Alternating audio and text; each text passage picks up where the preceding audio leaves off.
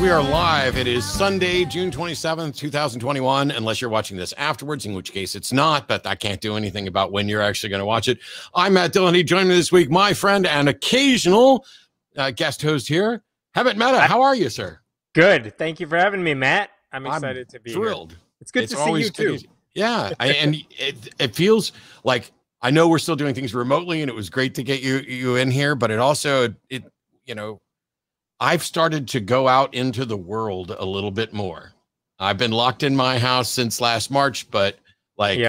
uh, I went out, I went out and and mostly I still wear a mask everywhere, even though they're not requiring it because I don't trust other people.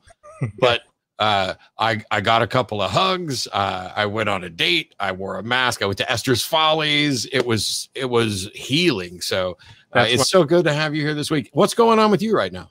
Uh, no, I was gonna say I was I've been going on bike rides, taking walks around where I live. It's been wonderful. And otherwise, no, it's been good. Uh, if anyone's watching on YouTube, please subscribe to Friendly Atheist while you're here. Just another tab. Go open it. Go do it. Thanks. Yes. Please check out uh, Friendly Atheist, the, the blog and everything else. Uh, half, I, and I've said this before, you know, this is no secret. In the years that I was working on nonprofits, uh, it was basically let's go read everything that Hemant did this week and we'll do news stories about it and we'll have discussions and stuff like that. So you have I been the touchstone for awesome for us for ages. I tell you what, let's not waste any time at all. Let's go straight to calls. Marlon in the Philippines, you're on the air with Hemant and Matt. How are you? How are you guys? I've been watching you your YouTube videos, Matt. It's well, welcome. Calming. It says it says here you had a some sort of experience this morning that you think might be a miracle or something. You wanted to ask us about it. Yes, basically I'm a Catholic, but my friend invited me to a Baptist church and I have seen this pastor who declares himself the chosen one because I saw him literally ignite his hand on fire without even flinching. And then he also did this food miracle at lunchtime with everyone having their hands up. What, what do you think? Is this so, some kind of divine intervention from so, God? I'm wondering so you've got a Baptist pastor and you say he declares himself the chosen one. What does that mean?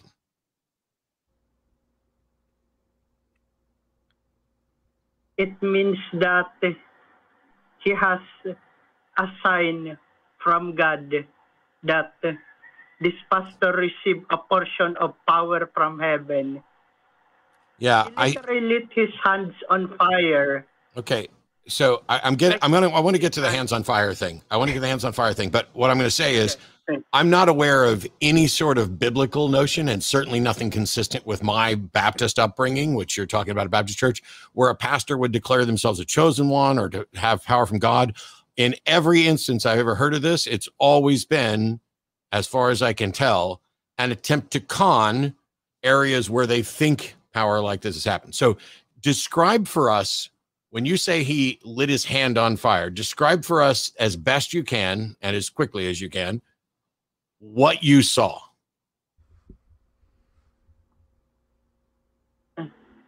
I saw him praying with his eyes closed and with his hands on his chest.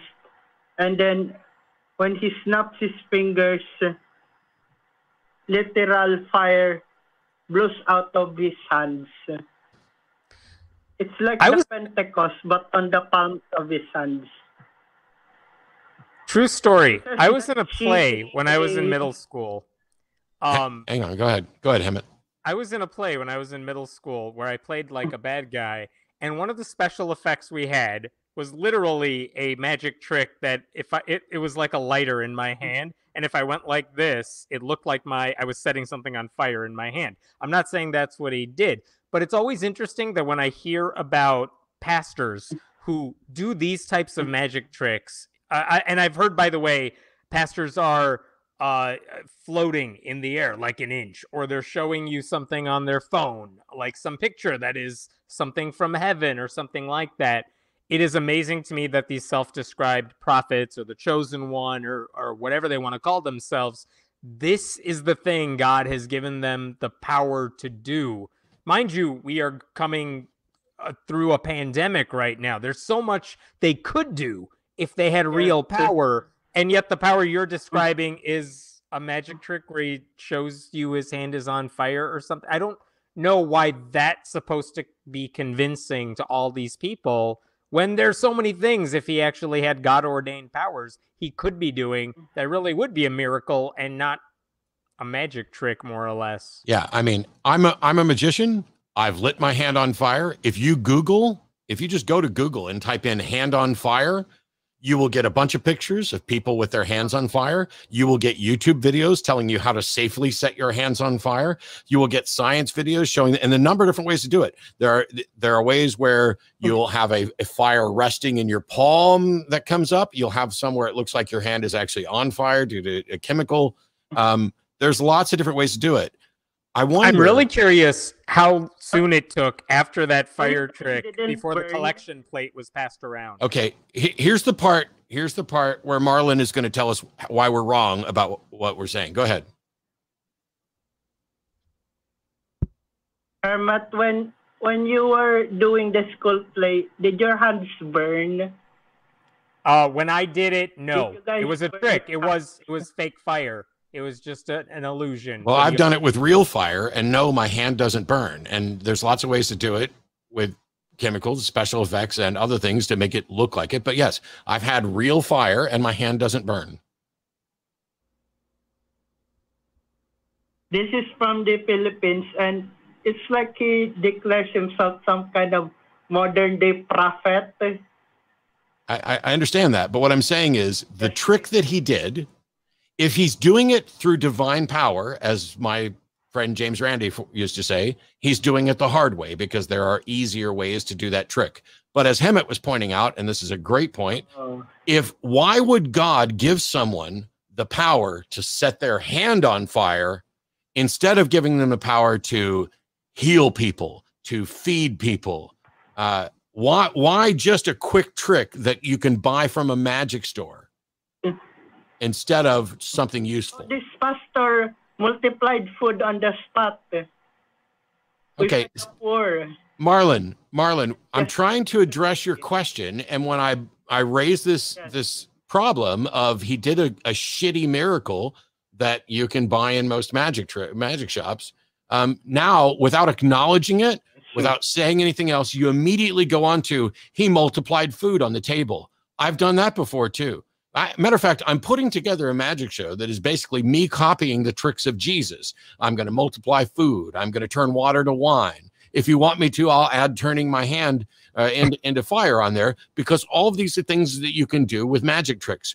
Why is it that the pastor that you're you're talking about, who's been given supposedly given power from God, can't do anything that a good magician could do or couldn't do? Uh, I, I, I don't know. that, that's what I saw. I mean, yeah, I was I get it, invited into this church.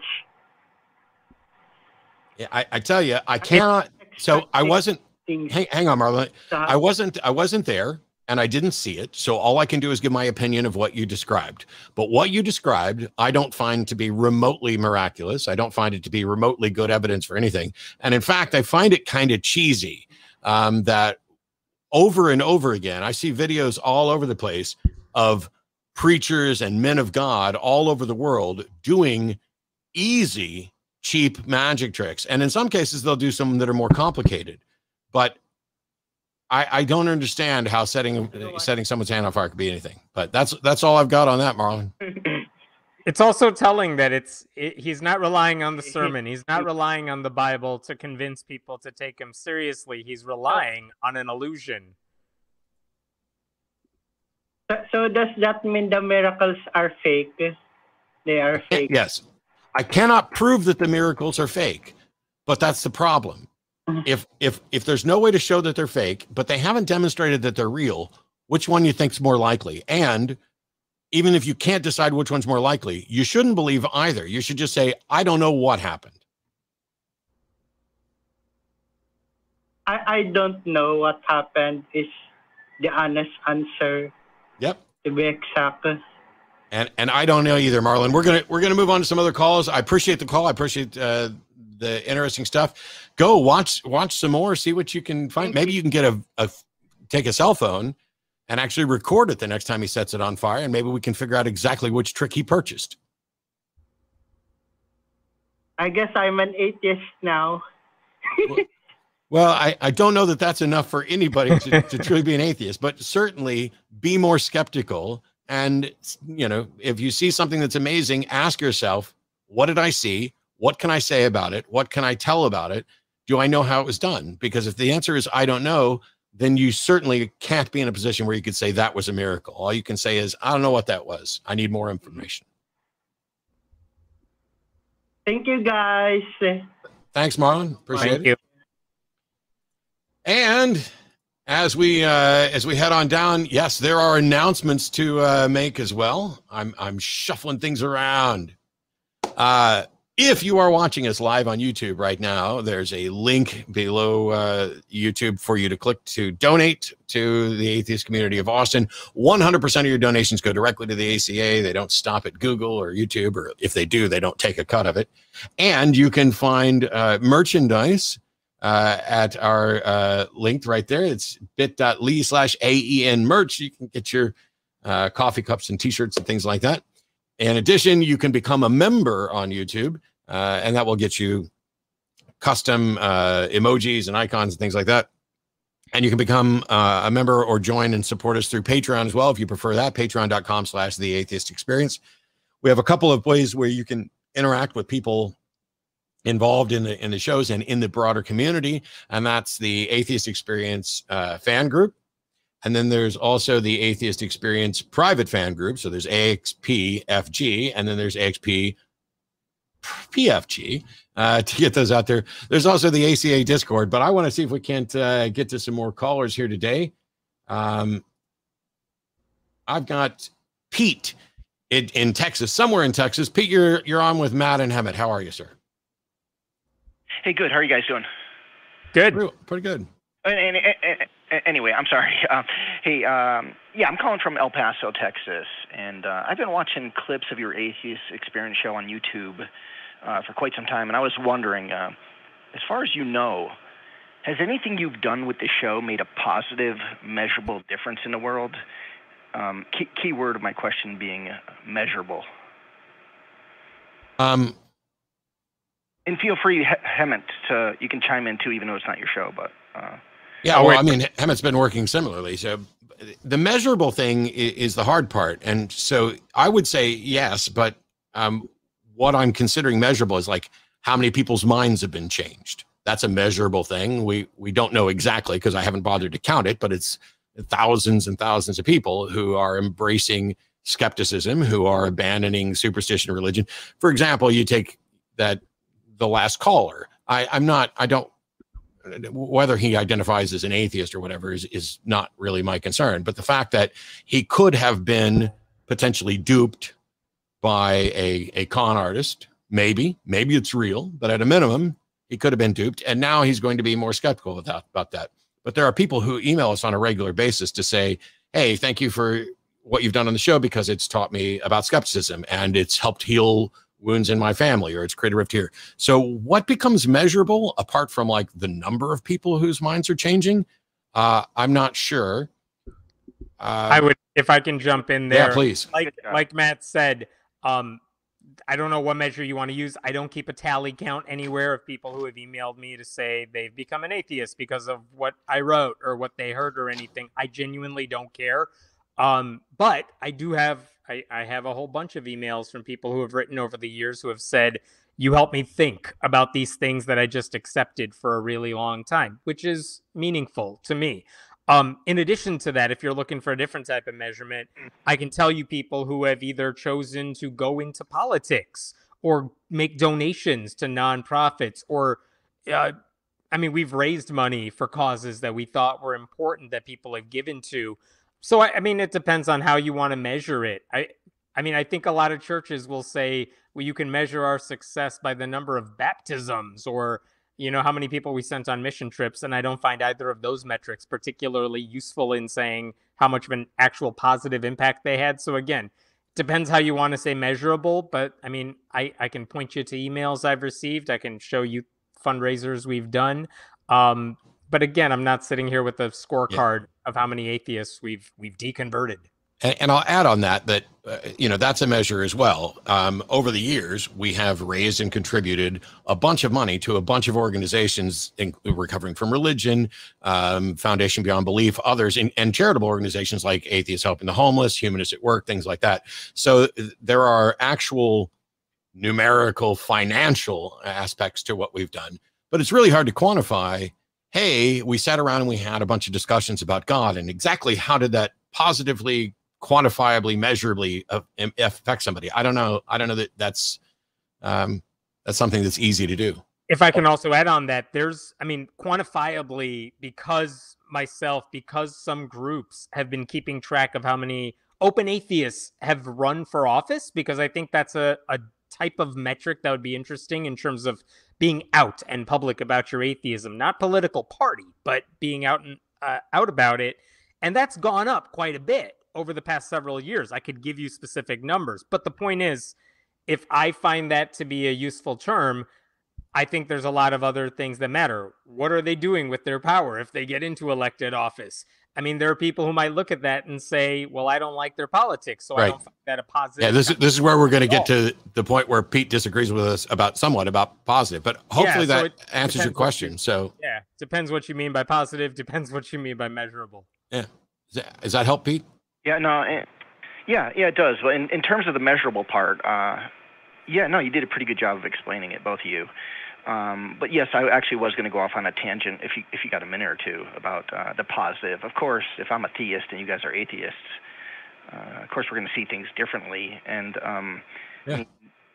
you know, you, you might say that okay, well, you know, there's been these people who've been calling in and they're Christians and you know, we finally got them to become free th- thinkers, and they turned they accepted atheism. It just made more sense to them and like was it positive though? Like whatever they went like did they have like a really terrible life when they were Christians? Were they doing a lot of destructive things? But now that they become atheists, uh, they become like better humanitarians or or I mean, you know, again, that's going to be hard for you guys to answer about like. No, that. it's not. No, it's but not. But if I if I told you they did, why would I mean? Would you say, all right, well, I guess atheists have a point then? If I told you they started volunteering more, would that would that change anything you're saying here?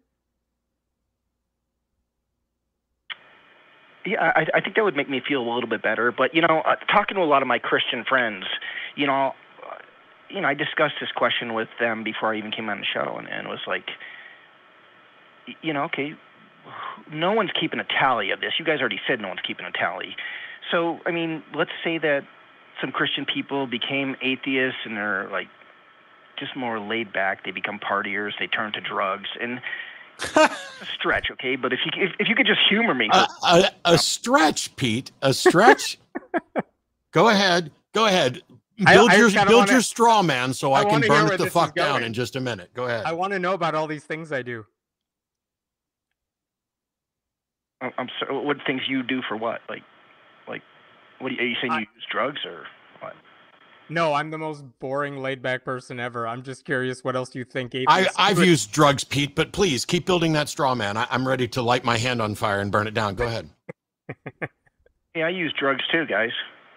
Okay, then then why are you why are you saying what if people turn to atheism and all of a sudden they're they're doing drugs and other stuff? Okay, so what? The thing is that where where we disagree about what's positive or not what i want is can you demonstrate something that is demonstrably positive and true that can only be achieved by being a christian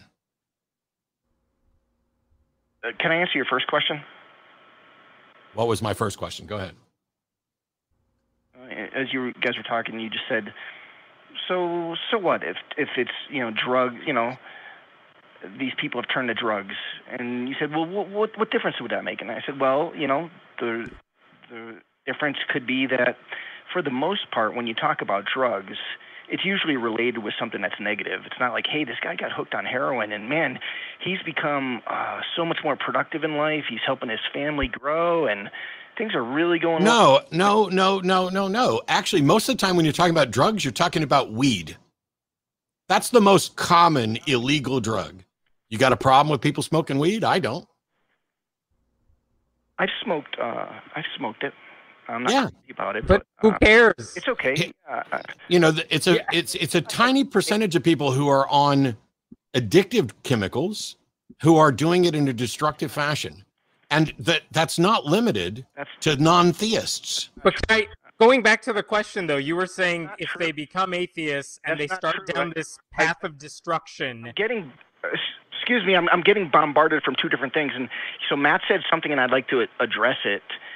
And now, go ahead. Uh, Go ahead. Address Matt's thing. Like, uh, and- and I, now I'm already even forgetting. Like uh, Matt, you said so. Oh, oh yeah, you said it's a small, small percentage, and that's not true. I know that it's not true, and I'll tell you one reason I do know it. Yesterday here in El Paso, you know El Paso's right on the uh, border of Juarez, Mexico. Um, I I recently moved to Texas, um, and uh, I got a tour.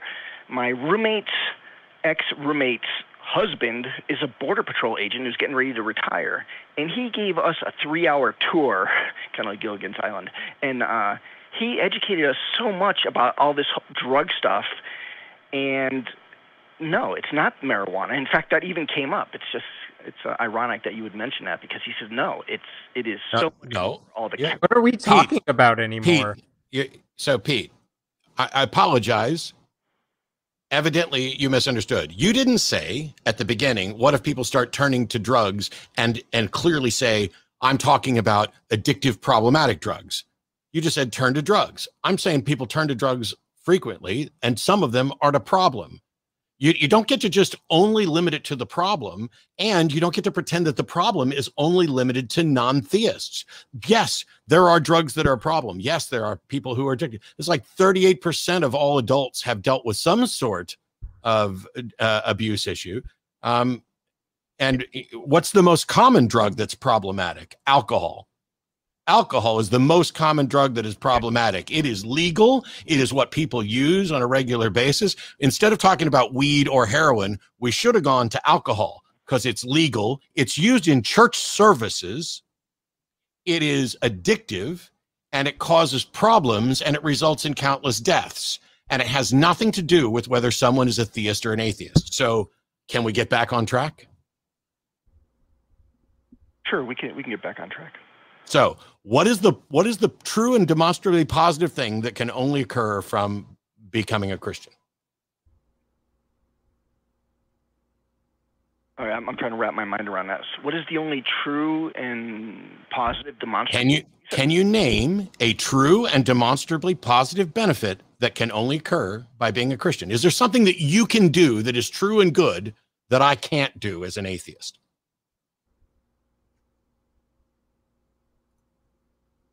If, if if you're talking about someone who is a true follower of Christ, and when I say true, I mean someone who's really born again, which I know you know what that means, Matt, but uh, not everyone else does. But if it's someone like that, once they have truly surrendered their lives to Jesus Christ, they become a new person with a new heart and new desires, and they can live a life that is very productive and more beneficial to the world because they're not affected by sin as much as like a guy like you, or me, or Hamed. I haven't heard. I haven't heard an answer to your question, Matt. yeah, I haven't heard an answer to my question either. Name something that is true and positive that a Christian can do that I can't do. Dedicate their life to Christ. That is not, you And- can't demonstrate that that is true and positive because I think that's a negative Yeah. and I think it's a fiction. I okay, d- then demonstrate that it is true and positive for one to dedicate one's life to Christ. This will be great. Yeah, it will be great. Let me tell you about a, uh, a guy I met. No, Oh, no, no, Pete. I don't want a story. I want you to make the argument that dedicating one's life to Jesus is is something that is true, that there is a Jesus and something to dedicate to, and that it is positive. it, requires a story. And don't say it doesn't. Listen. But your entire question was implying that if someone's an atheist, they are not doing something that is good and true and positive or anything like that.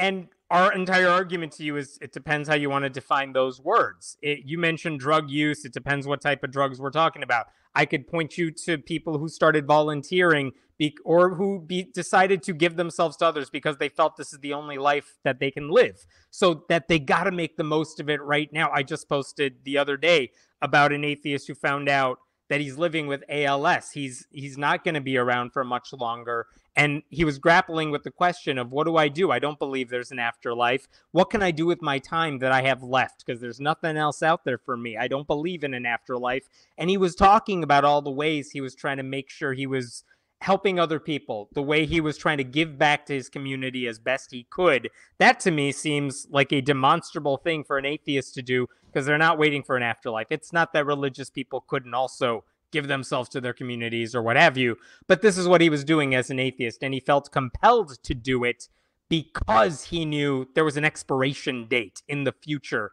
to his life and after that it was done. Um but if your argument is that stuff doesn't exist, it does exist. I mean, there's countless examples of it, but it, it genuinely sounds like no answer we give here is going to satisfy your claim that there's nothing positive that an atheist can contribute here. Now, I'm, I'm going to get back to your question, but before that, just out of curiosity, you talking about David Warnock? Yes. Yeah, David uh, called me on the phone uh, about two or three weeks ago. You can confirm it with him. We had a long talk. He's a nice guy. I donated some money to his cause anyway, um, I am going to tell you a story, and if you want to hang up on me, you can. But it's only. I am, I am, and I'm going to explain why. I, I, I want. It's important that you understand this. A story is just an anecdote. There's no way to verify any of it. There's no way you can demonstrate the truth of something by telling me a story about another person. That does not demonstrate the truth of anything. Do you at least understand that? I do understand that, but we're not inside. Good. That's why we're not doing the story, Pete. No, that's we should. Are, are you afraid of the story? I mean, come on. No, Pete, I'm not afraid of anything except wasting time. And for you, you just admitted that there's no way your story can demonstrate the truth of the claim. If, if your story cannot do that, then it would be a waste of time for me to let you tell the story. You got to find a different way to demonstrate truth. It's not my fault, Pete, that you believe something is true that you cannot demonstrate. A 90 second story is going to kill you guys. People. No, but you not understanding and smugly trying to preach on my show is not going to kill any of us either. And me hanging up on you isn't going to kill anybody either. Learn how to make the case for something being true because you just admitted that what you're about to do cannot demonstrate the truth of the proposition, and therefore we will not be wasting any time on it. On that note,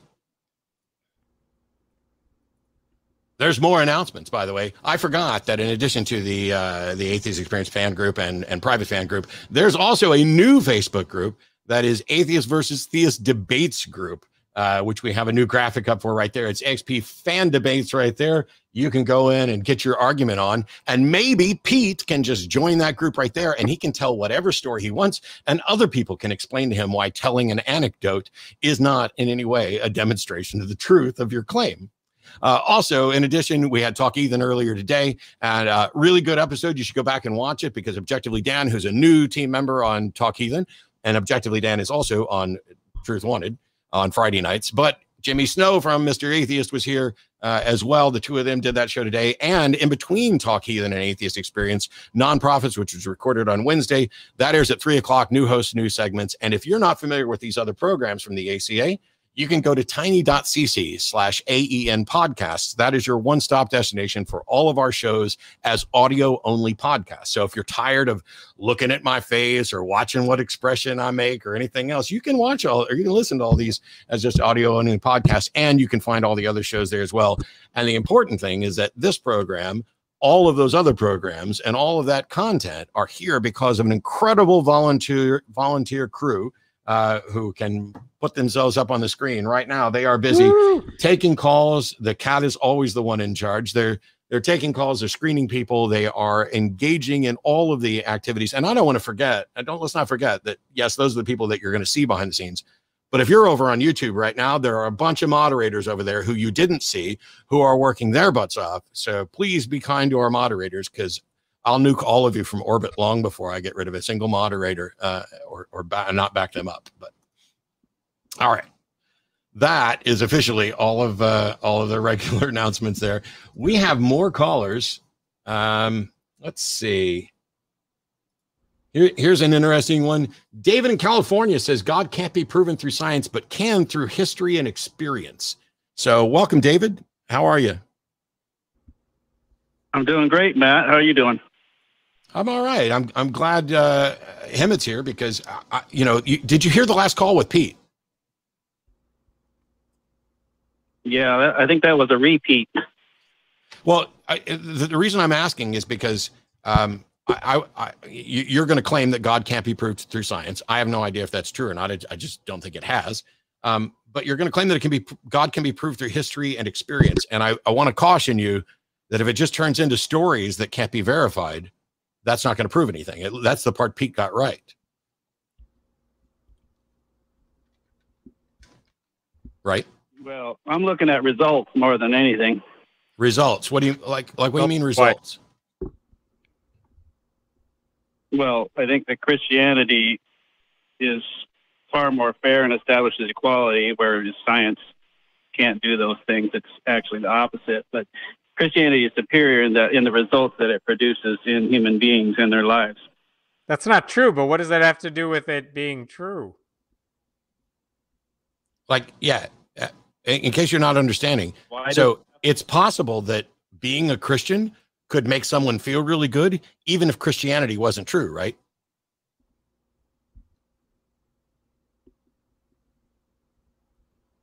Uh, yeah, there's lots of things that make people feel good. There's lots of people that do things bad and feel good. Okay, a serial killer. Now, hang on.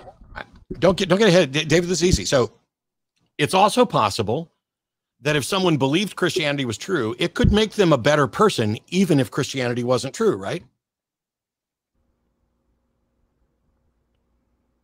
Uh, no, I just had a little discussion with Jimmy about this over at the Talk Heathen. No, no, Dave. I, so, hang on. I, I heard you on Talk Heathen. I the question I asked was, is it possible that Christianity, if, if, if, that let's imagine Christianity is not true, but someone believes it's true, it's possible that that could make someone a better person, believing that it's true, even if it's not. And you say that's not the case? Well, I was just going to say that Jimmy claimed that he was a better person now that he's an atheist. Okay, so I don't agree. So, uh, well, I what Jimmy, hang on, David, stop. What Jimmy was saying is that he had a drug problem and he's better, and you said that you don't think he's better, and he said, "Fuck you." Now, before I say "fuck you" and get rid of you, will you answer my question? Is it possible that someone could believe any religion, including Christianity? And believe in the tenets of that religion and have that belief make them a better person, even if the religion itself is not true. Is that possible? It's possible that you could be a more amicable person. Is that what you're saying? If you believed that the religion is true, is it possible that that belief alone can make you act in a better way, even if the religion is not true?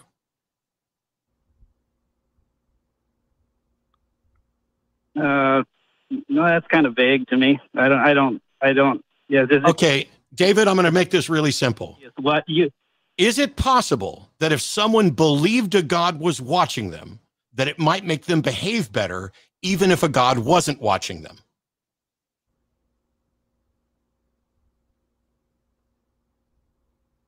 Hasn't worked for me. No. Okay, we're done. We're done because you're not going to answer questions honestly, because the answer to that question is an obvious yes. Of course, you can impact people to be better through lies. That's what parents do to children. And the fact that you can't recognize that means that this call is no, now over. Thanks. That was a fun history lesson. Yeah. See, we we convince children to behave better by believing in Santa. Mm-hmm. Oh yeah, no, I have little ones, and yeah, it's a constant uh, uh, going through all those things about what I was fed in terms of religion, and now what I talk to my kids about in terms of Santa, in terms of things like that. It's like I need you to behave. We'll get around to the right reason for doing it, but you're they're not necessarily old enough to understand the right reason, the moral reason for doing things. Yep. But we need to get there first, and then we can talk about those things. So uh, but the point being, like, if the question is Christianity, the, the first thing that guy said was Christianity makes things more fair or equal. It's like, have you looked out the window? Have you yeah. seen what Christianity does to people these days? I mean, equality and fairness is not anywhere in that ballpark. Yeah, D- David had called in to talk heathen and um, was not particularly the most honest interlocutor. And there were a number of questions that I would like to ask, but uh, unfortunately, if we can't even recognize, if we can't even recognize right. that it's possible to convince someone to be a better person, even if the thing that you use to convince them isn't ultimately true, I mean, then you just missed the lesson from Santa Claus. You just missed right. the lesson from the fact that all those other religions you don't believe in have inspired people to do things, including good things. The problem right. is, is that religions also inspire people to do bad things. And it's a lot easier to get them to do bad things when you can convince them it's all good. Yeah.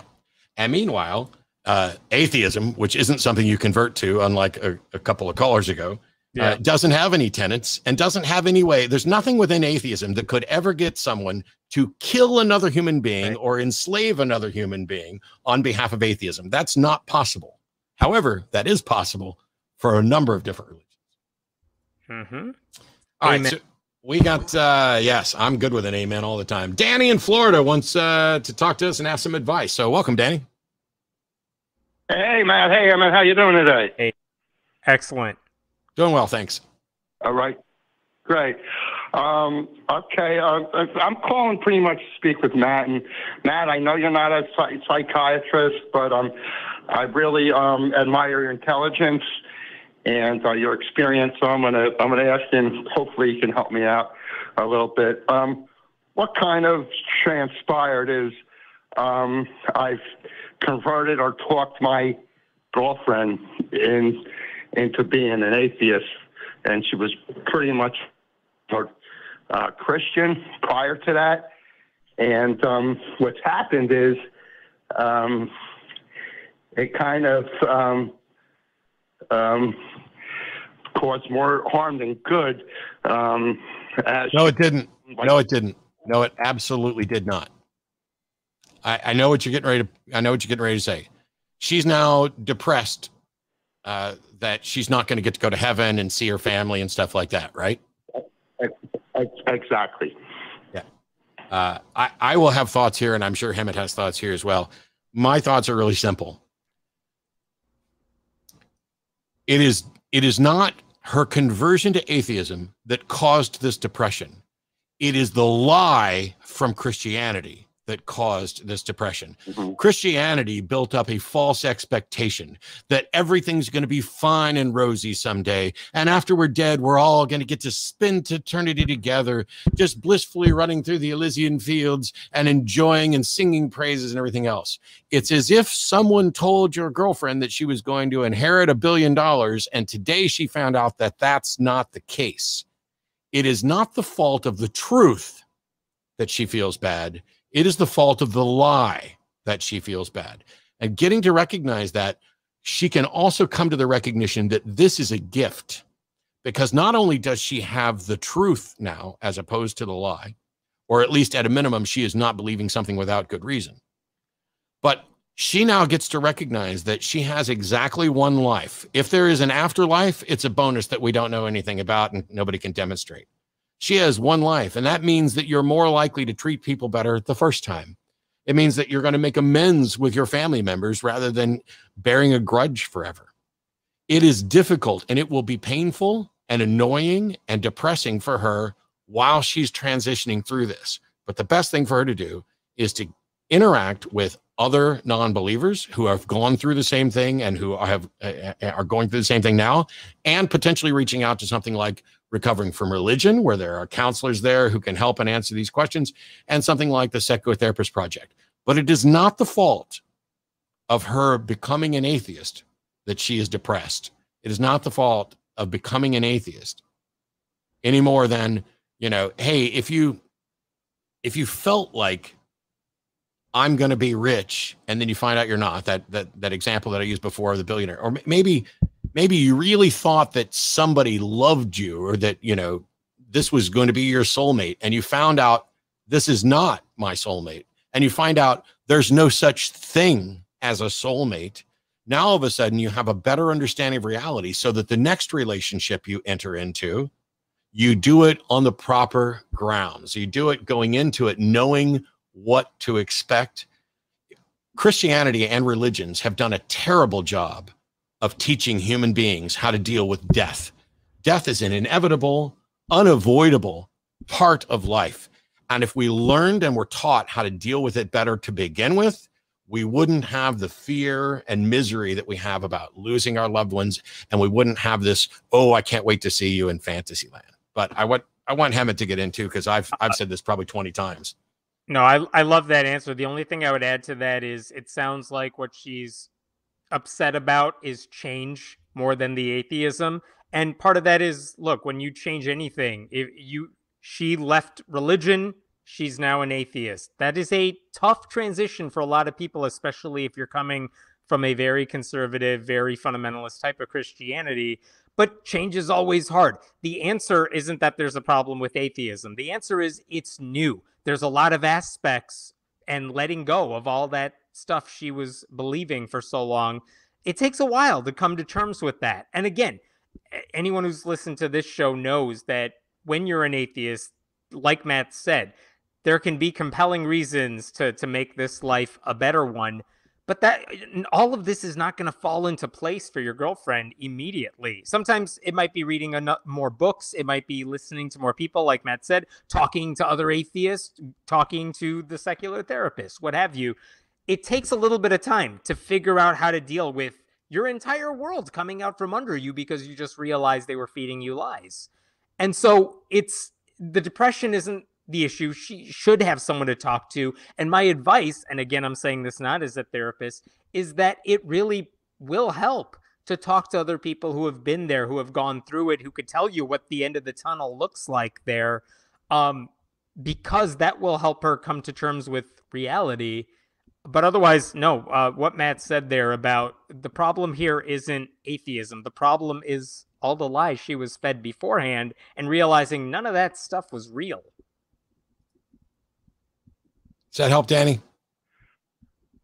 Yeah, that that helps a lot. Um, you know, I, I, was, you know, I of course think along all those lines, and um, you know, myself, I can't understand how a person way more intelligent than I could could believe in such a thing. I, it, it's just beyond. Because it's not about intelligence. So yeah, but if you're part if you're part of a really strong church culture, there are reasons that draw you in there that make you want to believe that stuff for reasons that yeah, have nothing to do with how smart someone is. There are other reasons you are drawn into that. And when you realize it is based on these premises of lies, it it takes a lot of work mentally to to step away from that and realize, you know, how do you make sense of the world if the things you've been taught since Sunday school or at home were not real. How do you make sense of that? How do you deal with all these people who you are probably very close to who believe something that you now find dishonest? I mean, it's a lot. It's a lot for anyone to deal with.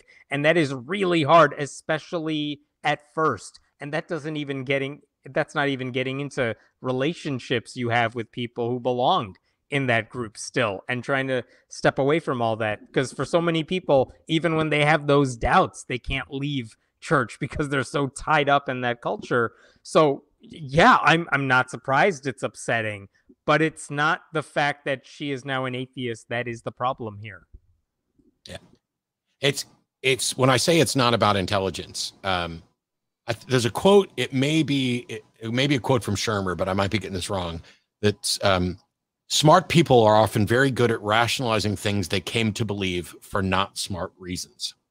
And so you can be incredibly intelligent and you can be incredibly knowledgeable and if you bec- if you become convinced of something for bad reasons you and it becomes something that's cherished it's a part of you you can then spend forever defending it with even worse reasons as long as you're capable of doing that kind of rationalization so this is not a thing about uh, iq or or smarts in any colloquial sense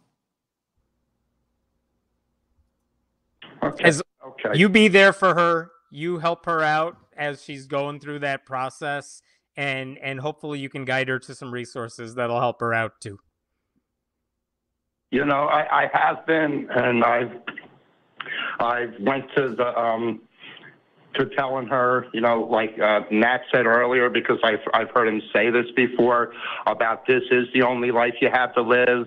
And if you, you need to make the best of it while you're here and, and do the right things so on and so forth. And I think I think that's helped her a little bit. Um, I, I, I just have to bear with her, I guess, and, and, and be there for her and and help her get through the process. And I really thank you guys for picking up my call, and I, and I really appreciate your advice. And I hope you guys have a great day. Absolutely. You too, and that's just good relationship advice, period. Thanks, Danny. Make sure you just give it time and be supportive uh, because it for almost everybody, it will in fact get better over time. Okay. Thank you very much, you guys. Have a great day. Okay. Cheers. You too, Danny. Mm-hmm. That's um, you know, you and I have heard that story uh, a bazillion d one times. I'll just make up a number. Yeah. Um, and we've and, heard it from pastors. I mean, if you're talking about going from one extreme to the other, I, I mean, if you're talking about going through that depression and how tough it is, maybe the people, at least from my experience, who have had to deal with the difficulty of that more than anybody are people who literally dedicated their lives to promoting those lies because they genuinely believe them. Pastors, priests who decided, I don't believe this stuff anymore. And when they leave, I mean, uh, Julia Sweeney does this in Letting Go of God, where she mm-hmm. talks about um, when she started having those doubts, it wasn't just about God, it's trying to recalibrate everything you knew, including like, well, then how are the planets up in the air? Right. Like, and how do you deal with that? Because there's so many things that you just attributed to God. And if you take God out of the picture, it's like, I mean, I feel, I don't know if this is the right analogy, but it's like when you become a vegetarian or something and you do that for ethical reasons or you go vegan for ethical reasons, you start having to question every food decision, clothing decision that you're making, even things yeah. you weren't thinking about because you didn't realize it was affected. And I mean, it's one thing if you believe it very strongly and you're willing to go through that transition, the bumpy transition process. But when you're not really expecting it, which I think for a lot of people, atheism is that, where I didn't want to be it, but I think this is where the right. evidence goes. It's it's not something you volunteered and signed up to do. You're just like, wait, this if this is real, then like all this other stuff has to start making sense. And you realize, you know, it, it's realizing my parents lied to me and it wasn't intentional, but that is what you grew up with. And this priest or pastor that you loved was lying to you right. and it wasn't intentional. They're not bad people, but they were wrong about this stuff. And you got to redo all of that stuff. What a difficult journey for anyone to go through. But I mean, and I'm genuinely jealous of this now because I left religion like more than 20 years ago and there are so many amazing resources now that didn't exist when I changed and it's kind of if you're looking for it and you know what to look for it, it can really help you with that process yeah and by the way uh Hemant not only left religion but wrote a book about how he sold his soul on eBay. Tell everybody about that real quick so they can uh, go. The uh, short version is I basically visited a bunch of Christian churches saying, you know, I've never experienced this myself. I've heard about it. I mean, I, I I live in America. I know what Christianity is like, but it's secondhand. And so I ended up visiting a whole bunch of mostly evangelical Christian churches, but different types, all black church, evangelical megachurch, house church. And a lot of them are promoting seeker services. A lot of them are specifically reaching out to atheists saying, "We we are doing this sermon for you to bring you into the fold. So it's like, all right, well, I'm your target audience. I will go to your church. And yeah, I sold my soul on eBay is basically what I learned going to all these churches and whether any of them were convincing. And and while I'm an atheist, that's not really a spoiler. Um, some of the things they do to to try to draw you in is I can see why it's compelling to so many people. And until you see that and you witness it firsthand, which at least speaking for myself, I had not experienced it firsthand, you can see how tough it could be to leave any of those places too. We've uh we got some more callers here today. Uh, Richard in California wants to talk about how water has a collective conscious. Oh, this should be fun. Well, welcome, Richard. How are you? How you doing? Good. Uh, pretty good. Uh, what? Tell us I, more. am not aware that water has anything that could be conscious at all, let alone a collective conscious. So, so how do we get to there? Uh, Dr. Iamoto was a physicist from Japan, and uh, he wrote a book about it. So what? Okay. I, I, have a gun. I have a, a pamphlet up here with all kinds of pseudoscience, batshit crazy stuff that people have written all the time. Uh, what I asked was, how do we how do how do we get to demonstrate this? Not how did how did you hear about it? Uh, Dr. Iamoto was uh, it was given to me uh, at the Theosophical Society in Ojai. Still didn't answer the question. Gwyneth Yeah. Paltrow has a whole website full of this type of stuff. It doesn't mean any of it's true. I mean, you can have people with degrees saying crazy things. It doesn't mean they're right. Yeah, I, I'm only going to ask this one more time. How do we demonstrate that water has consciousness? Okay, so water molecules look like snowflakes underneath the microscope, and there are all types of different patterns of snowflakes. And so his experiment was he put a word next to a glass of water, put in uh, like a turkey baster, pull out a sample of water, look underneath the microscope after about five minutes, and if it was a positive word, the snowflake was radiating and, and magnified and reaching for more light. And if you put a negative word next to the water, he put the turkey baster in, pull it out, look, look underneath the microscope, and the water molecules will be fractured. What what I'm so curious what journal this was published in. So the water was responding to the words. Uh-huh. Y- y- You're talking about Dr. Emoto, right? Dr. Iamoto, yes. Yeah. I- Iamoto. Oh, I thought you were talking about Masaru Emoto. Uh, Dr. Iamoto. He's dead now. So Okay. Well, it'd be really cool to get him on, on the air and have a conversation with him, but it'd be it would be really cool, except that I've heard this story before about water molecules and putting up words next to them and you know when they freeze and they form certain crystals. Um, my understanding is that this has been debunked as pseudoscience. Have have there been any peer-reviewed studies that confirmed uh, this at all? the word you just used, the word you just used, pseudoscience, Yes. chiropractic medicine falls underneath that. I agree that a good I agree that a good chunk of chiropractic medicine falls underneath pseudoscience and it should not be called medicine and it should not be used for any treatment. I agree. Thank you. Anything else?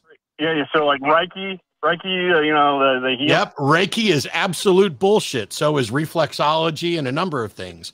All of these things you're referencing are just as bullshit as water with consciousness. But okay, so you're you're calling it bullshit, but you don't know that it's bullshit. Oh, yes, I do. You're- See, yeah. I, I know that it has absolutely continually failed to demonstrate any sort of efficacy. Now, that doesn't mean that it's not true, but when I say it's bullshit, what I mean is people keep claiming that it's real and no one has been able to demonstrate that it can actually do what they say they can do. I'm That's going back true, to my that's true for homeopathy, Reiki, etc. I want to go back to my pseudoscience is. question where this guy publishes a book. Anyone can publish a book. I say this as someone who has published a book. Where was this paper of his, his conscious water consciousness paper published? Yeah, who is looking at it? Who is giving it a stamp of approval here? It's irrelevant. Oh, It's so not irrelevant. it's, Anyone it's really can not. publish a book with any crap inside. There's entire businesses built on crap. But science Is, is specifically, fiction where's the peer review here? Is it fiction or nonfiction? Is Lord of the Rings fiction or nonfiction? Is what is what fiction or nonfiction? Fiction or nonfiction? If you okay, there's there's a thing where your audio is ducking. So if you try to talk while I'm talking, I'm not going to hear a thing you say. What are you asking me? Whether or not it's fiction or nonfiction? Is Lord of the Rings fiction or nonfiction? I took you off speaker, so that takes away the echo. Good. You should have never had me on speaker. I should hang up on you just for having me on fucking speaker. Lord of the Rings is fiction. What does that have to do with anything?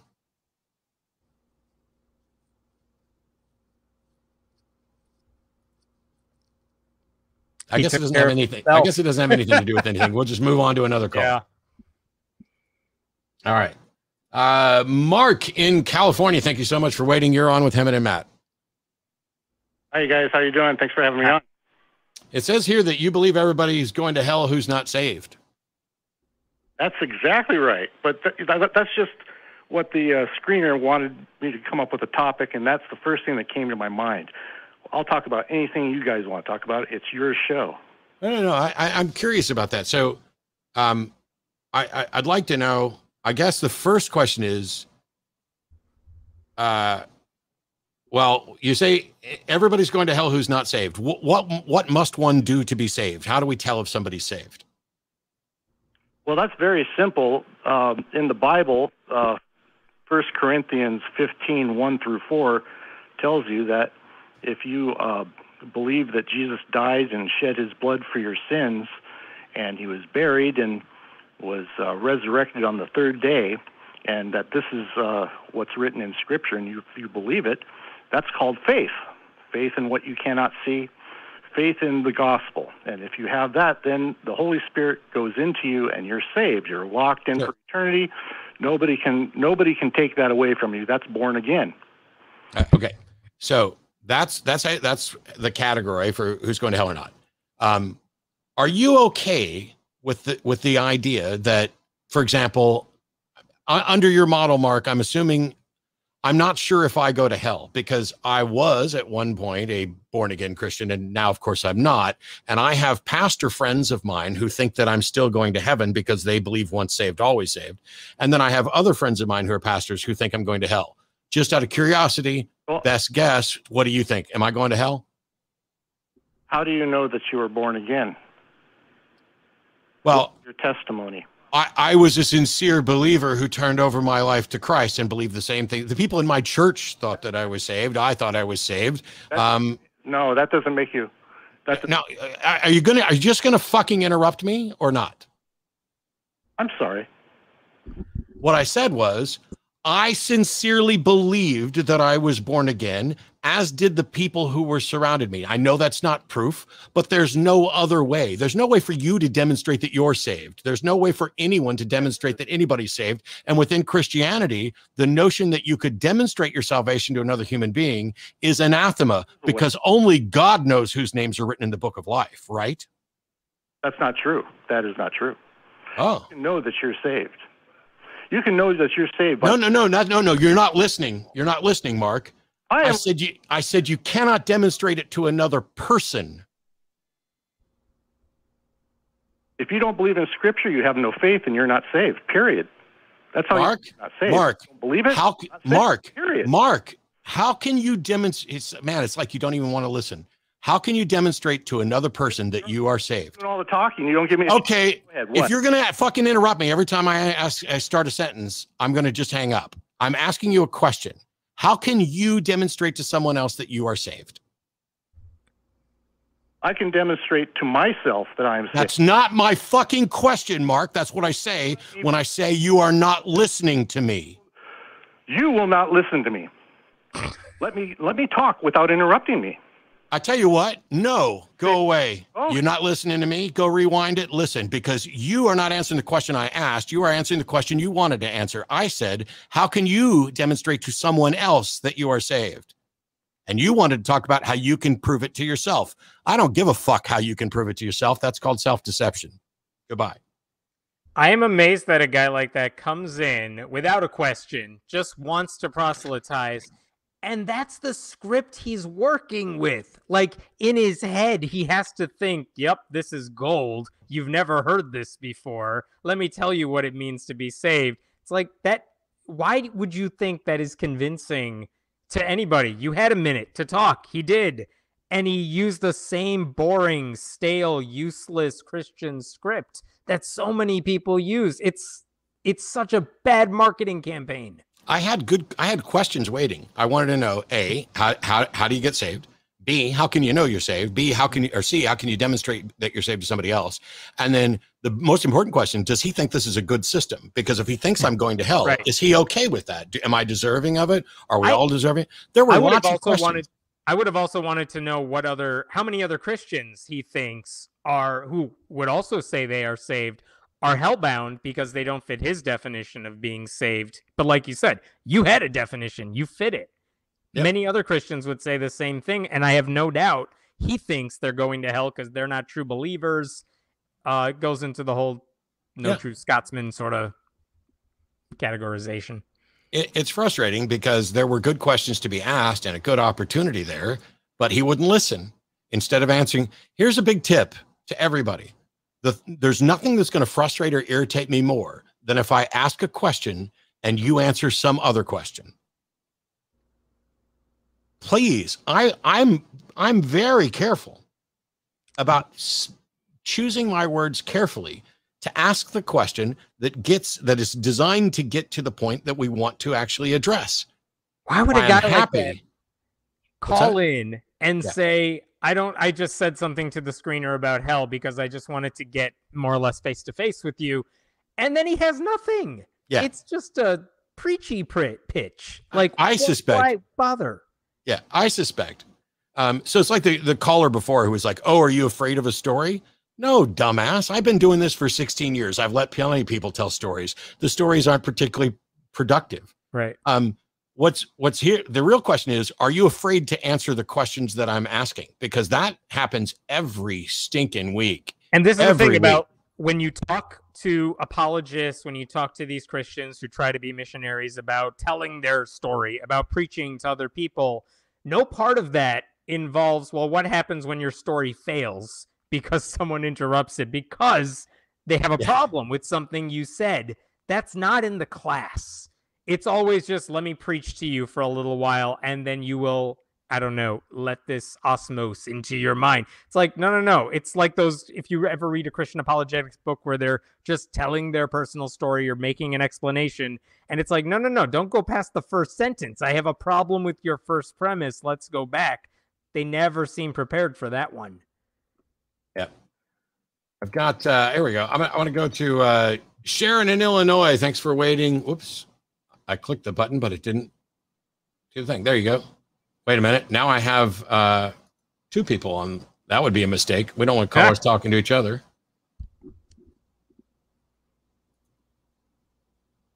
There we go. Sharon in Illinois, you're on. Thank you for waiting.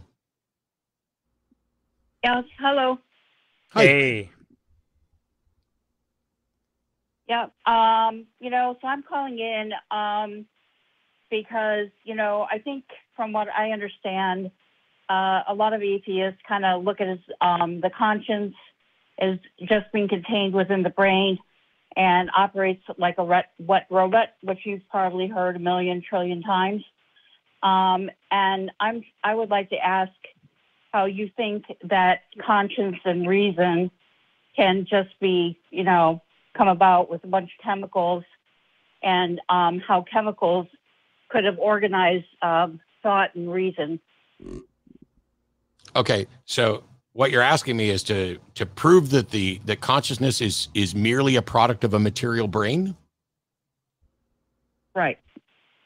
Um, I, I don't have to prove that it's merely a product of a material brain. It is, in fact, demonstrably a product of a material brain. If you think it's more or requires more than a material brain, then the burden of proof is on you to demonstrate that. I'm not asserting that there isn't something more.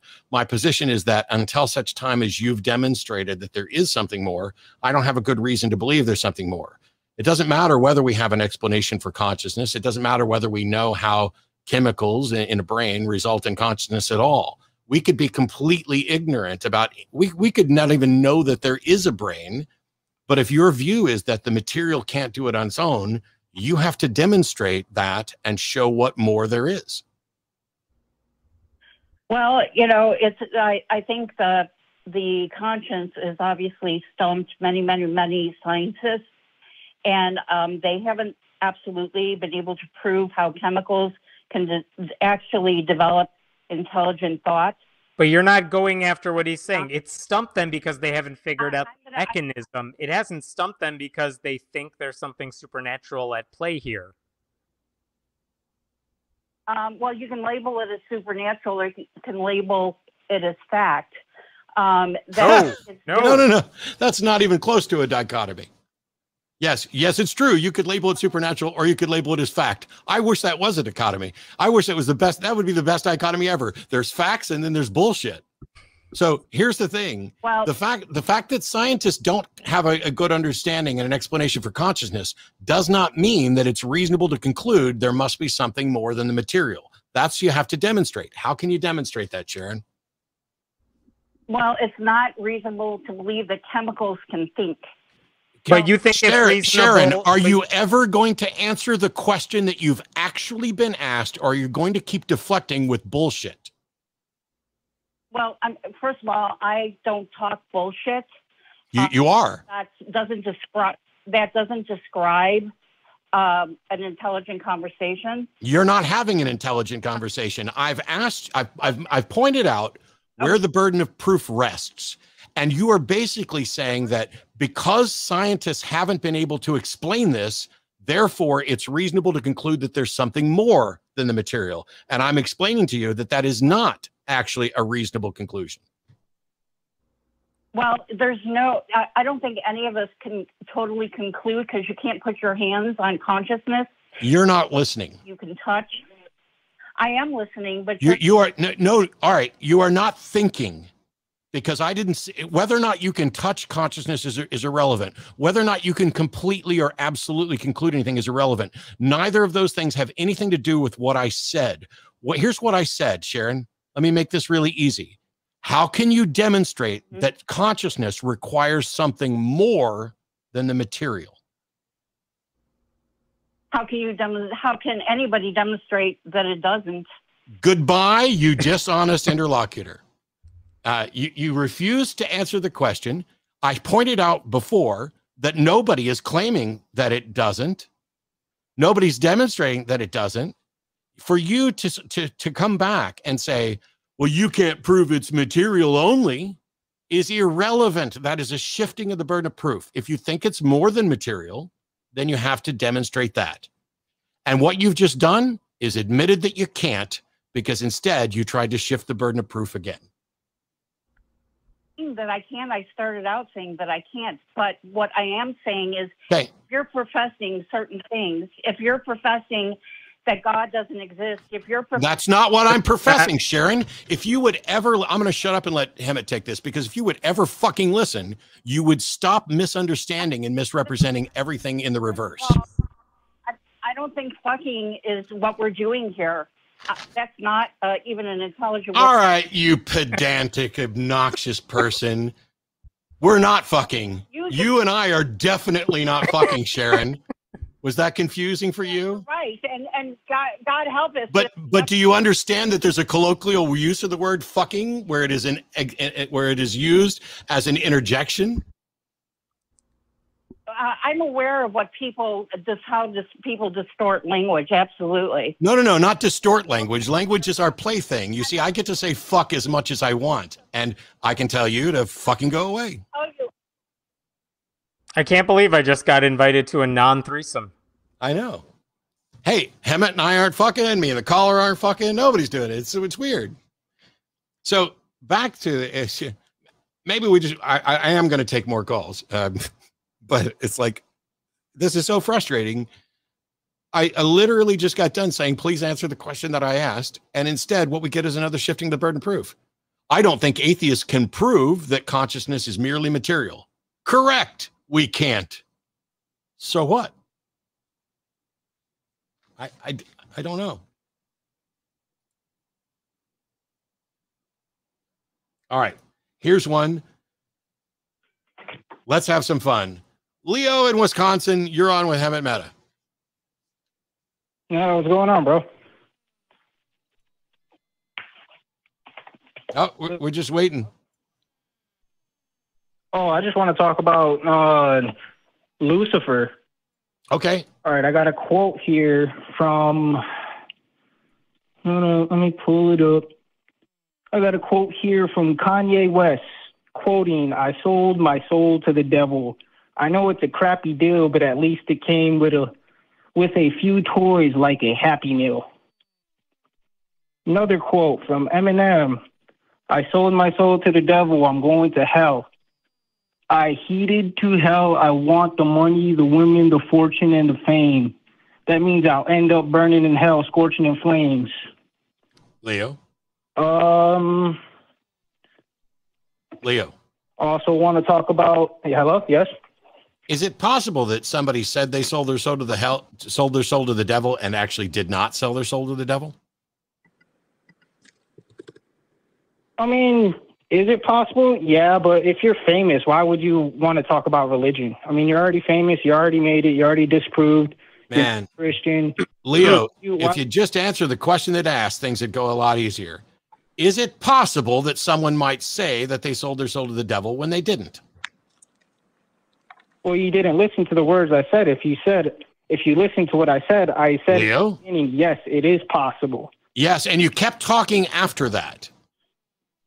See, I asked a yes or no question, and you said yes, and then you went on to something that was secondary irrelevant. Here's the follow up question If it's possible for someone to say that they sold their soul to the devil when they didn't really, how do you tell the difference between who sold their soul to the devil and who didn't?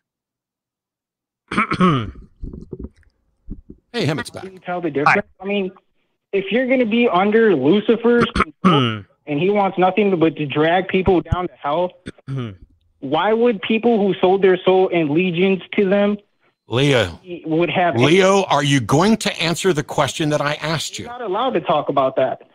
Are you going to answer the question that I asked you? I got disconnected for a good second, and now I just chimed in, and I have no idea what the hell he's talking about. So maybe I didn't miss anything. You didn't. Leo, how do you tell the difference between someone who really sold their soul to the devil and someone who didn't? You you can't.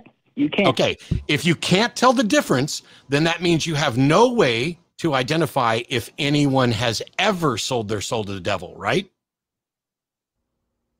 Okay, what does that have to do with anything? If you have no way to show that anybody's ever sold their soul to the devil, then the conversation is useless. Because if you can't show that someone actually did sell their soul to the devil, then for all you know, nobody has ever sold their soul to the devil. That contradicts what people are saying. Why would someone sing a song saying "I sold my soul to the devil"? That doesn't make because it's amusing because because it's amusing because it's a story because it builds a legend it builds a reputation because people don't believe in the devil. I've said i've sold my soul to the devil. Fucking Hemant sold his soul on ebay. The devil didn't go down to Georgia either. yeah Man, you are a fool. Look at Luke 10. i'm a fool i'm a fool i'm a fool leo Yeah, you are. leo i'm a fool how am i a fool Well, let's let's talk about Pope Francis then. Pope Francis has a video on YouTube talking about he's the man of sin. It's a 7.45, it's 7 minutes and 45 seconds. If you'd watch it, he'd explain himself. The Pope of Francis would explain himself that he's talking about dragging people to hell and giving them the mark of the beast. Why would Pope Um, first- Francis say something like that, bro? I don't give a fuck why Pope Francis says anything. Is it possible that Pope Francis doesn't know what he's talking about and isn't telling the truth? How am I a fool just because you can't stay on topic? How what? First off, man, you are I know who you are too. Who am I? Who you are. Who am I? You're Lilith reincarnated. That's who you are. Awesome. You are Lilith reincarnated. Nice. Awesome. Does that mean I'm trans? Because that would be, you know, on it'd be good for yeah, Pride Month. I, I'm Lilith reincarnated. I, I know I know this stuff because I was born. I was born from the devil, and I was born into that family. I came from the Nephilim, bro. Cool. How are you gonna tell me any of this shit, bro? I'm going to tell you. I'm going to tell you that you can't demonstrate the truth of anything that you're saying. First off, I, I own your soul, Leo. You cannot demonstrate the truth. here I can Stop it, feel, Lilith. feel your spiritual presence from over here, bro. I bet you can. You know why? Because you have been deluded into believing a bunch of pseudoscientific, supernatural nonsense, and you can't demonstrate the truth of any of it. Nah, you just oh you you like to play questions with questions. I talked about a serious question from celebrities from their mouth themselves, bro. How come it, how come everybody that's Christian has a harder life than people with celebrities selling their souls? Oh my God. bullshit. Bullshit. Bullshit. Boo fucking who Christians. Who fucking who Christians? Wow, you, That's right, Leo. so people. Yeah, I know. I know who you are. I know exactly who you are, bro. I know. I'm Lilith incarnated, and I own you, buddy. Wait, what I am I? completely own you. It's not fair. I want a title. Nah, you don't own me, bro. You do. Oh, I completely own you, Leo. Jesus can't save you from me. You belong to me. You were born to me. You are mine. This, Ah. this whole show is just a fiction. There we go. There we go. Yeah, there we go. Look at look at you talking some real facts now. Yeah, it's real facts. You you got it, Leo. I I'm more than Lilith. You See, that's where you're wrong. I'm not Lilith. I am Satan incarnate, and I own you. You're mine. You will never escape. Is that what you needed to hear? No, no, Is that what you needed to hear? no. That's not what I wanted to hear. I didn't need to hear that. You're full of shit, bro. I already know Lord and Savior got my back. Y- y- Your Lord and Savior couldn't give me so much as a hangnail. Yeah, because you sold your soul to the devil. No, I didn't sell my soul to anybody. But e- even if I, even if I sold my soul to the devil, couldn't Jesus still come down and mess me up? Another lifetime? Yeah, you did, bro. And at the end of the day, all the sins that you got on your soul, you can't hide behind the flesh, bro, because I know what y'all are doing. Y'all are sitting there playing the reincarnation game, and you guys are saying, oh, well, that's not me, that's not me. But all your What, what's the reincarnation game? I, I don't know what you're Yeah, I. What, know. what is it? shit. What is it? What's reincarnation Go game? to the book of Enoch, bro. Let's go to the book of Enoch. I don't need to go. To, the, why is it when I ask you a question, you want to reference something else? Can you just tell us what the reincarnation game is? Go to the Bible, bro. Because the, Bi- no, I want to go to the Bible, bro, because the Bible references the reincarnation game, bro. Well, the Enoch's not in the book of, they're not in the Bible, but um. So, uh, but would you just answer the question, or am I going to hang up? I guess you're gonna hang up because you don't want to talk about the Bible. I I I know more about the Bible than you, guaranteed. Okay, let's And. I talk about the Bible all the time, but you said we were playing the resurrection game, and then you said go to the book of Enoch, which is not in the Bible. So why don't you tell us what the resurrection game is? Then let's go to Genesis 5, verse 18 through 22. Let's talk about that verse, bro. Okay, what about it? What about it? What about it? Just go to it. You got a Bible in front of you? I got loads of Bibles in front of me. Do you have a preferred version? King James version. Which King James? The 1611 King James or the King the New King James? There's more than one King James version. Just find the old King James version. Just go to Genesis. Sure. Genesis chap- chapter 5. Eight. Uh hang on, I'm getting We're the we're in the King- middle of a King James right timeline. there.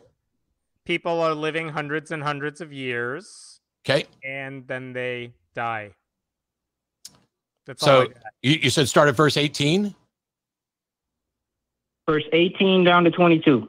Sure. And Jared lived 162 years and he begat Enoch. And Jared lived after he begat Enoch 800 years and begat sons and daughters. You think people actually lived 800 years? Yeah. Okay. Well, that's something you can't demonstrate, which is absolutely antithetical to everything we understand about science and biology. Um, and so, Fed pharmacy bullshit, poison. And on top of that, half the world got fucking parasites because you assholes created garbage ass food.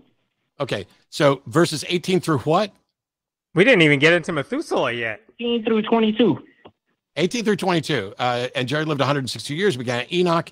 Uh, and Jared lived after he begat Enoch 800 years and begat sons and daughters. And all the days of Jared were 962 years, and he died. And Enoch lived 65 years and begat Methuselah. And Enoch walked with God after he begat Methuselah 300 years and begat sons and daughters. basically you had me read five verses that are just about people living a long time. What's the point? No, the point was Moses wrote Genesis, right? No, Right? Correct? You don't know who wrote Met- Genesis. The point was you wanted me to read Genesis 5, 18 through 22 in order to explain the resurrection game. Reincarnation. Oh, sorry, game. the reincarnation game. So how does that explain the reincarnation game? We'll go back to that. Okay, well now now that now that I proved that Enoch is spoken in the Bible, Oh my God, I'm talking about the book of Enoch, dipshit. I'm saying the book of Enoch is not in the Bible. You're the one that referenced Catholics. I didn't say the person wasn't referenced in the Bible. ex- well, that's what I'm saying. He was taken out of the Goodbye. I don't want to play the reincarnation game. You will not be reincarnated. You are the weakest link. Goodbye. I'm still trying to get over. Kanye said he sold his soul in a song lyric, and that's supposed to mean something for us. Yeah. But, you know, hey, I'm Lilith. Yeah, congratulations on that, by the way. It's fun. We're friends. You never told me this. I know. I was actually I was playing Binding of Isaac earlier, and I was playing as Lilith. So when he first said I was Lilith, I thought he was just joking. Yeah. All right. So we have a, a call from uh, is it Sohaib in in Canada? I apologize if I mispronounced that. Yes, speaking. Yes. Hi, Hey, you're on with Matt and Hemant. How are you? Good, good. How are you doing? Good. What's your question? Yeah, I just have a question about the afterlife. Uh, like I'm a Muslim, so um, we believe that there's like a heaven and a hell. And um, what are your thoughts on the, the the concept of a hell in Islam? What are your thoughts? I mean, it's as fictional as the Christian version of the same thing. If there's no proof of it, this is the life we have. Make the most of it. Do you have any reason to think otherwise? Yes, because um, you see, don't you think uh, it's a better option that you can just believe in it because uh, because it is a very very um, the fire of uh, hell is uh, seventy times hotter than the earth. Earth Is fire. that what's are you saying you are a better person because you believe in that and it's stopping you from doing things? Yeah. Yes. What is it stopping you from doing? Like if you suddenly doubted hell, what is it that you would start doing? Anything. Anything that's uh, because there's no God to punish me. You you know neither of us believe in hell, right? Uh, yeah, I know. So what is it that we are doing that you think is awful? Well, you don't believe that Allah exists. Correct, but I don't see how that's hurting anybody. Right. I mean, you if you if you stopped believing in Allah tomorrow, would you just run around murdering people and stealing things? No, but I wouldn't see any Why consequences of doing that. So You wouldn't see consequences of of murdering people? yeah, yes, yes. Like um, You, you don't think that the consequences are that person is dead and you have hurt another person and there may be consequences for you legally as well? And that if you promoted a world where people could just run around killing each other um, without any consequences, that that world would be worse than a world where there are consequences for it? okay, yeah, I get what you're saying. I totally get that. Uh, I agree with you. But um, I'm just saying, like, uh, it's uh, basically in my religion. Um, like uh, you see, God, He gives you everything, and then um, you have to appreciate Him for what He He gave you. So I don't have any I don't have any evidence that God has given me anything. I don't have any evidence that there is a God and I certainly have no evidence that God has given me anything. What has God given me? What can you prove that God gave to me? your life, You can't prove that God gave me life. water, and You can't prove that God gave me water. You, you- these are things you believe, these are things you've been told. How do you demonstrate that God gave me life? this it's it's not possible for it to come from nowhere. It just has to come from somewhere. Like there That's true. something created. Where are you getting that information from? that you you think it couldn't have arisen in any other way. Therefore, your interpretation, Allah had to do it.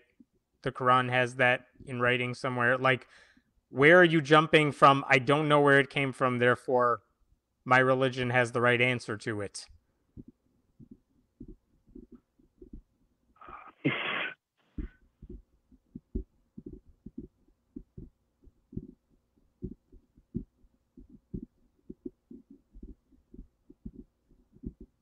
Here's a weird question. Do you think that Munkar and Nakir are going to ask you easier questions than we are? Or Nakir?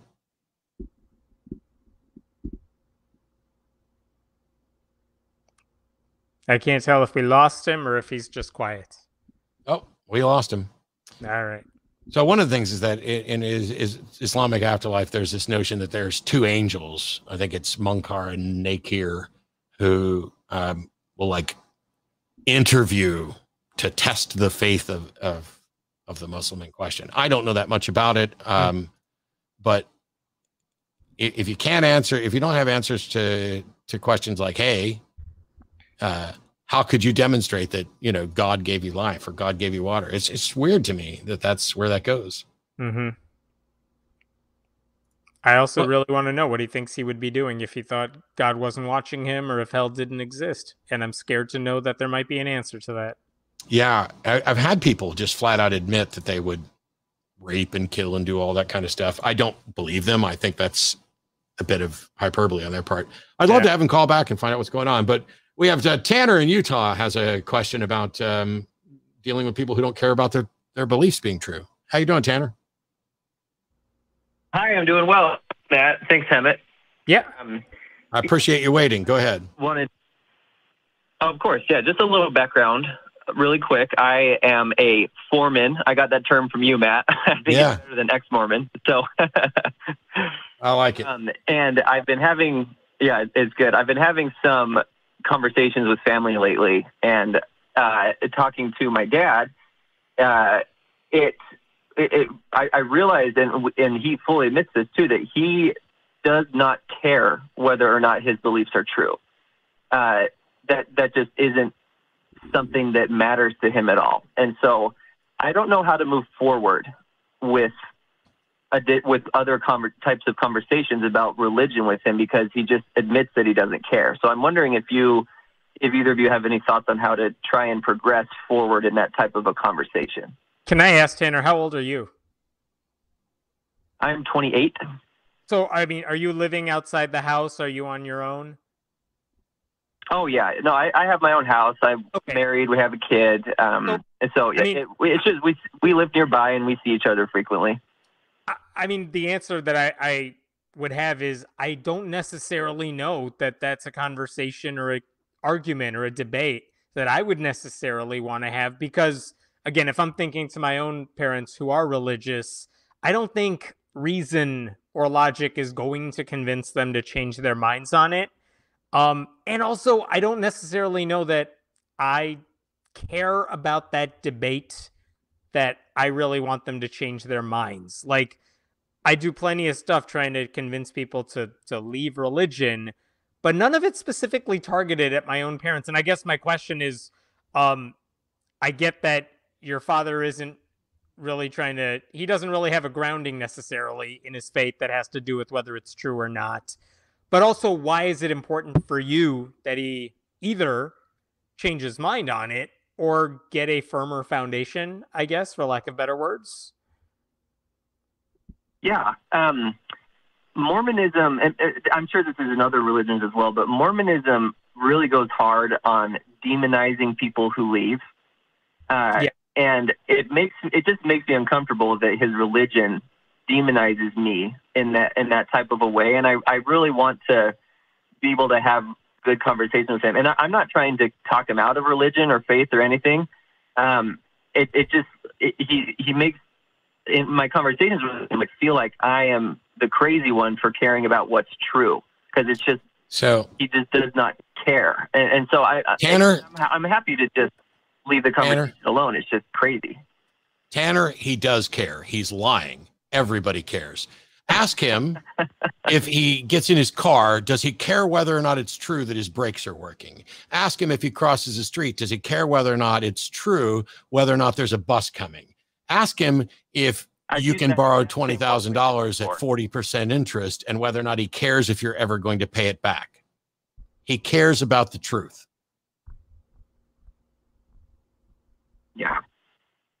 And so ask him, ask him then, once you get him to acknowledge that he does care about the truth, because he absolutely does, how is it that he can care about the truth for something trivial and something important, but not for the most important thing in his life, which is whether or not there's a God and whether or not there's an afterlife, whether or not what he must do to be saved, what he must do to, to, to earn the favor of the God that he believes in.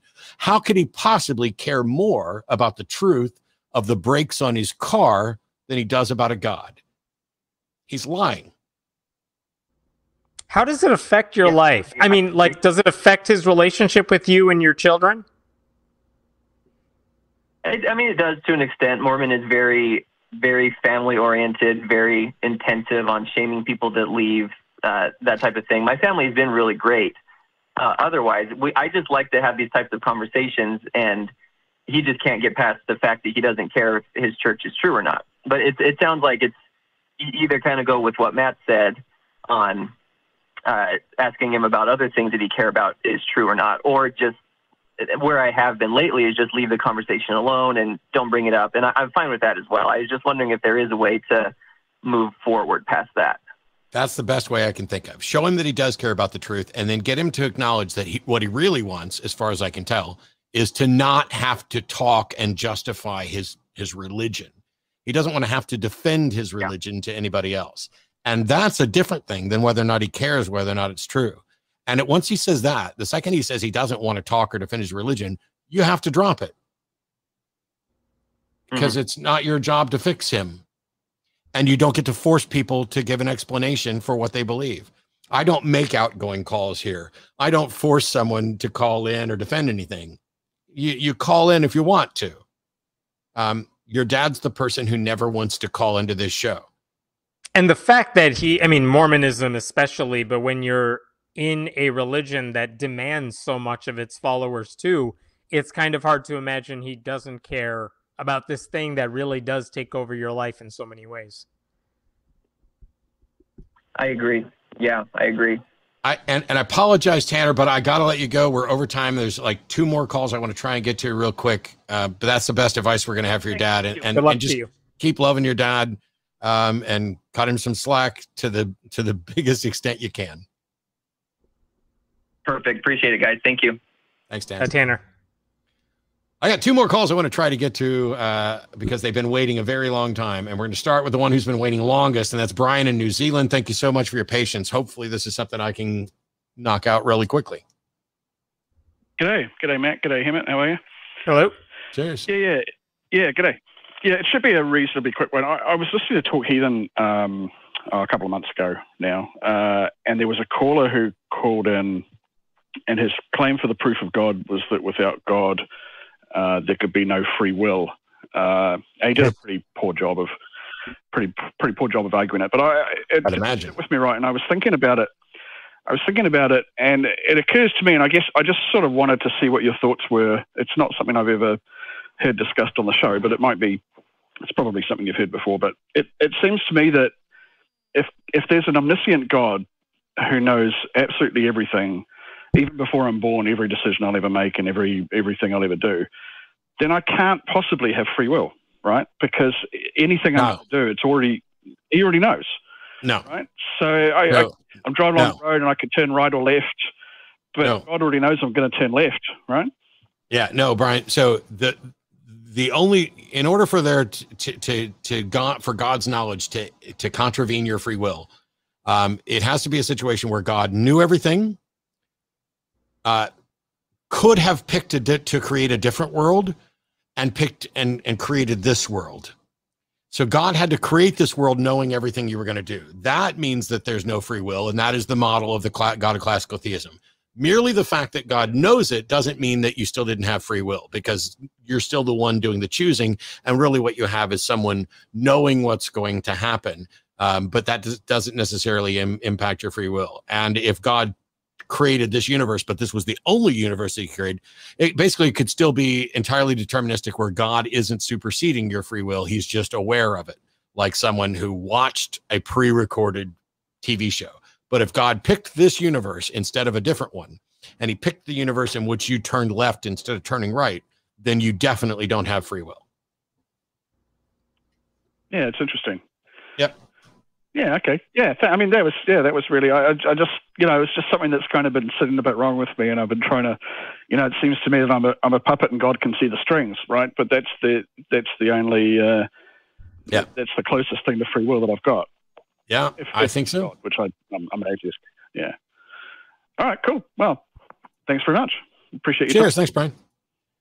All right. Last call for today.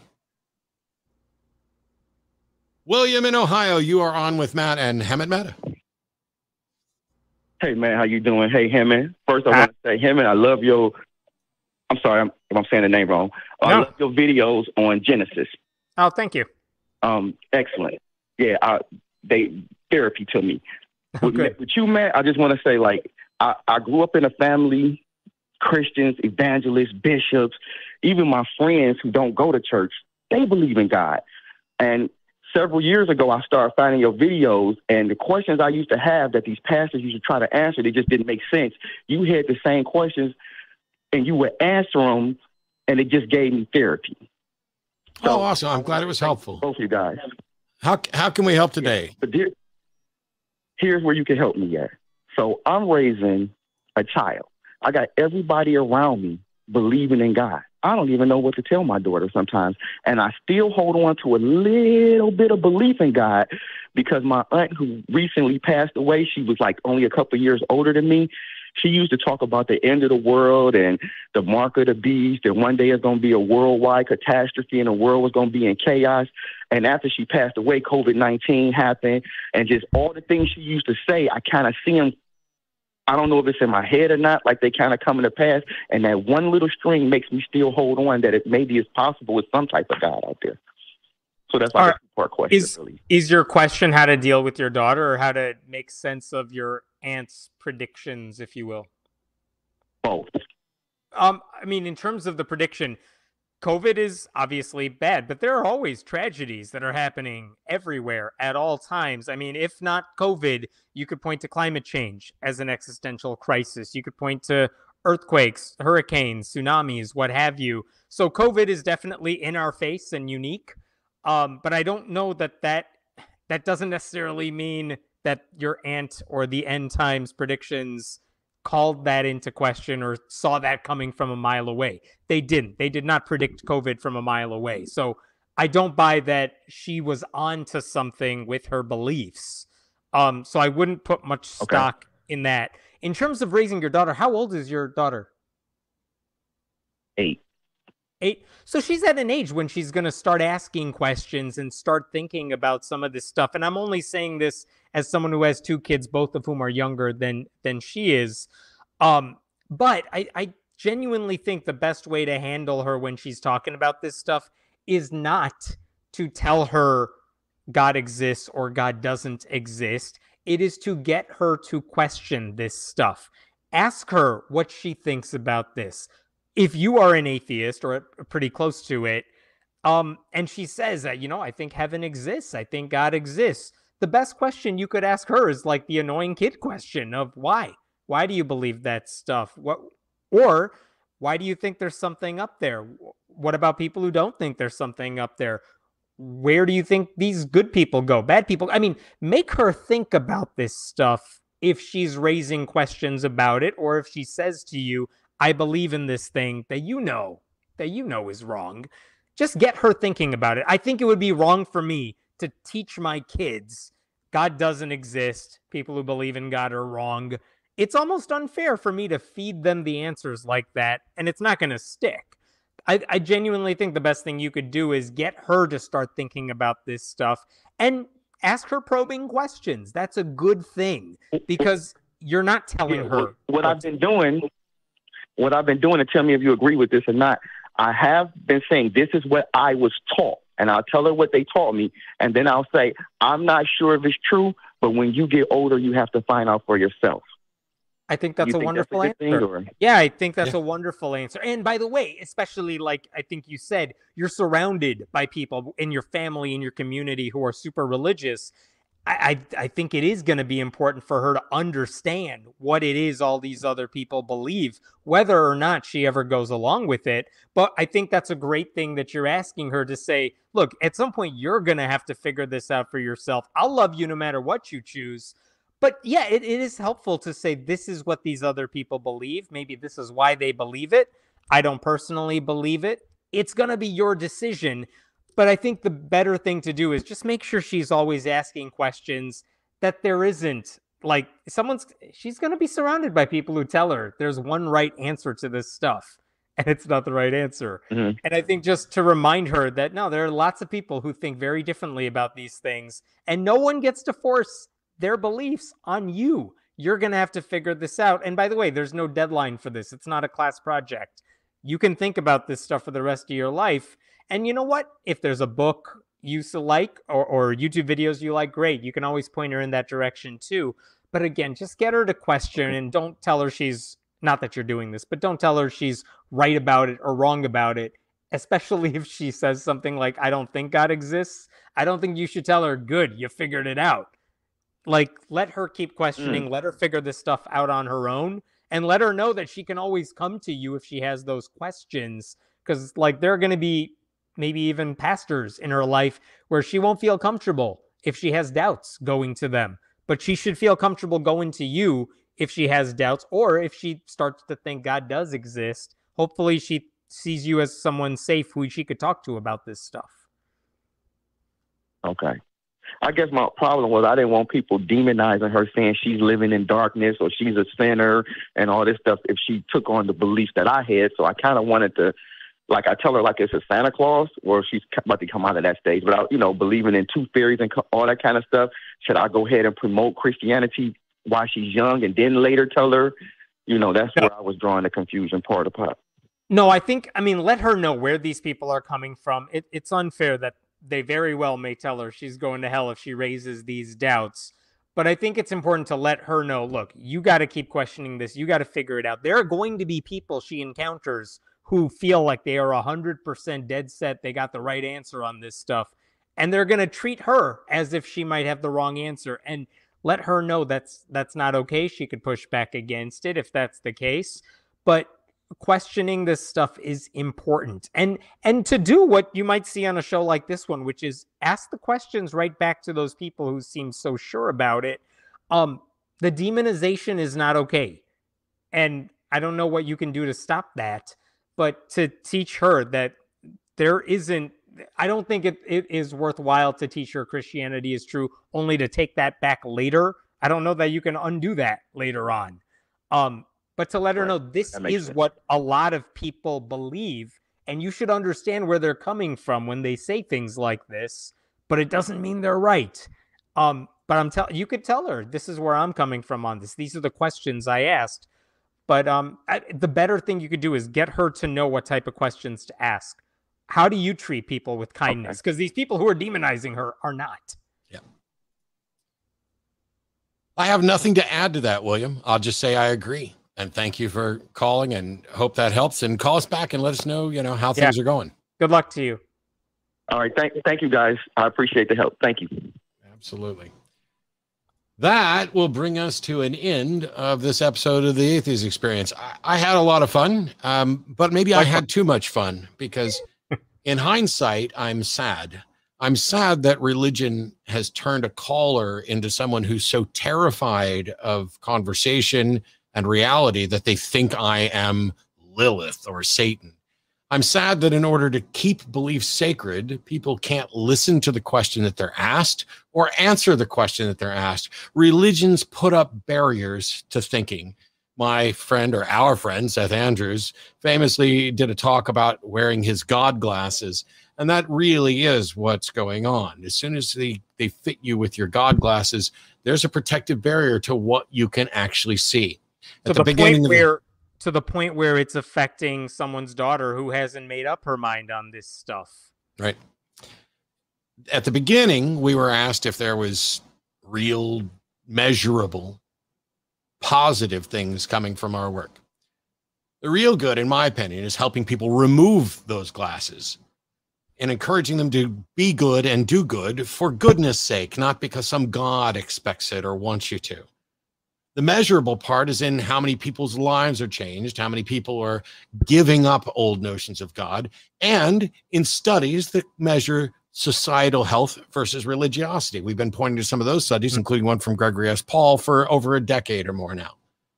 There's not only miracles that decline as our ability to investigate them increases, but our solutions to problems increase as we give up the notion that a God can or will intervene. Humanism is not, there is no God. It is, we are here and have to solve problems on our own uh, to the best of our understanding. Humanism, skepticism, atheism. I want to thank Hemant Mehta for joining me here this week. Please be sure and check out the Friendly Atheist blog and his videos as well. Thanks to the crew uh, who will pop their name up right after you guys get a good look at those links there. And thanks to all of you who tuned in, who contributed, who donated, who who commented and added to this conversation, including the people who called in. We'll see you next week. Please stay safe. Take care of each other. What will it take for you to stop?